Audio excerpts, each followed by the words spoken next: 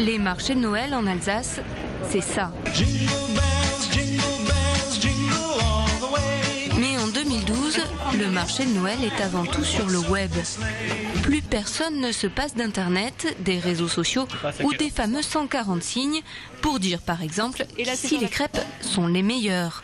Au Christkindlesmarkt, Alan donne tous ses bons plans sur sa page Facebook et déjà 500 adeptes. On a fini de, de monter le chalet au marché de Noël, on a pris des photos pour les mettre sur Facebook depuis directement le téléphone. Et on s'en sert euh, la plupart du temps pour mettre des nouveautés sur le, sur le Facebook du stand. Parce que bah, on n'attend pas de rentrer le soir à la maison et ça permet d'être plus réactif. Et quand les gens nous demandent quelque chose pendant la journée, on peut leur répondre des fois euh, 10 minutes plus tard.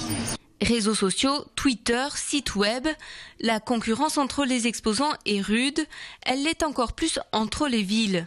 En Alsace, chaque commune a son marché de Noël, alors pour les visiteurs qui viennent souvent de loin, c'est d'abord sur la toile que l'on fait son petit marché.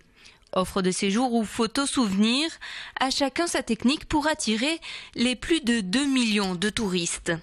À Strasbourg, on filme presque tout. Toute une série de, de vidéos qui sont sur le marché de Noël, plus de 100 000 personnes qui euh, l'ont observé. On peut se dire que dans ces 100 000 personnes, il y a des gens qui ont fait le choix de venir après avoir vu les images euh, de, de la ville, de ses décors et de son patrimoine. Tous ces outils demandent du temps. Ça demande beaucoup de temps. Donc aujourd'hui, nous n'avons pas forcément les moyens de, de nous mobiliser sur beaucoup de, de médias sociaux.